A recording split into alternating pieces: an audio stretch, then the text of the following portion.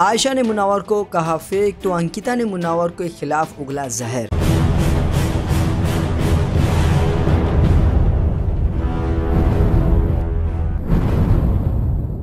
Welcome to the Hungama studio Ankita और आयशा कोने में बैठकर बातें कर रहे होते हैं। वहीं अंकिता आयशा से कहती है, मुन्नवर की छोटी छोटी चीज़ें मुझे हट करती है और मुन्नवर का वो हट मैं अपने ऊपर लेना नहीं चाहती, क्योंकि मुझे पता था मुन्ना ऐसा ही है। वहीं अंकिता आयशा से बोलती है, तेरे साथ भी इतना कुछ हुआ ना, मैं मुन्ना को बताती थी, सिखाती थी। मैं हमेशा खड़ी थी मुन्ना के साथ, लेकिन मुन्ना ने तेरे साथ भी गलत किया। आयशा बोलती है, फेक है ये। उसका जो सॉरी सॉरी था, वो टॉपिक को खत्म करने के लिए था। वही अंकिता कहती है की मुझे पता था मैं मुन्ना की इस हरकत पर कभी गलत नहीं थी। आशा कहती है, मुन्ना को किसी से कुछ लेना देना नहीं है। वहीं अंकिता बोलती है, वीकेंड के वार पर मुन्ना ऐसा चेहरा बना लेता है, जैसे सामने वाला ही गलत है। पहचानने ही नहीं आता कि मुन्ना गलत है। आशा बोलती है, उससे बेटर कौन जानता है? वही अंकिता बोलती है, मुन्ना जानता है, मैं जो रिश्ते बनाती हूँ, वो थोड़ा निभाती हूँ। आयशा कहती है, पूरा निभाते हो आप? वही अंकिता बोलती मुन्ना के जैसे नहीं, मुँह पर कुछ और और अंदर कुछ और। मुझे तो पता ही नहीं चलता कि जेन्यूनली मुन्ना मेरे बारे में क्या सोचता है। अंकिता कहती है, मुन्ना को हार बर्दाश्त नहीं है। वही अंकिता बोलती है, मुन्ना को लगता है वो कहीं गलत नहीं है और स्मार्ट है बहुत। आयशा बोलती है, रिश्तों में ऐसे ही होता है। अंकिता जी, आप कितने भी एफर्ट लगा दो, आपको पता ही नहीं चलेगा कि सामने वाले के मन में क्या है। वही अंकिता बोलती है, मैं यहाँ सबको समझ पाई, लेकिन मुन्ना को नहीं समझ पाई। मुन्ना कुछ छुपा हुआ लगता है। मुन्ना दिखाता है कि वो बर्दाश्त कर रहा है, जो उसके साथ हो रहा है। अंकिता बोलती है, मुन्ना बहुत हर्ट भी कर रहा है लोगों को। हम भी तुझे सहन कर रहे हैं तेरी लाइफ में जिसपे आयशा मुन्नावर को फेक बोलती दिखी, अंकिता कहती है, मेरी नज़र में मुन्नावर अब कुछ भी नहीं है। हो गया जो होना था। इस तरह से कई सारी बातें आयशा और अंकिता आगे भी करते नज़र आई। मुन्ना के खिलाफ बोलते नज़र आई तो दोस्तों, अंकिता की पर आप क्या कहना चाहते हो? अपनी राय हमें कॉमेंट में ज़रूर बताए। बॉलीवुड टीवी शोज़ और बिग बॉस ऐसी जुड़ी लेटेस्ट अपडेट के लिए लाइक फॉलो और सब्सक्राइब करें। और बेल आइकन को ज़रूर दबाएँ।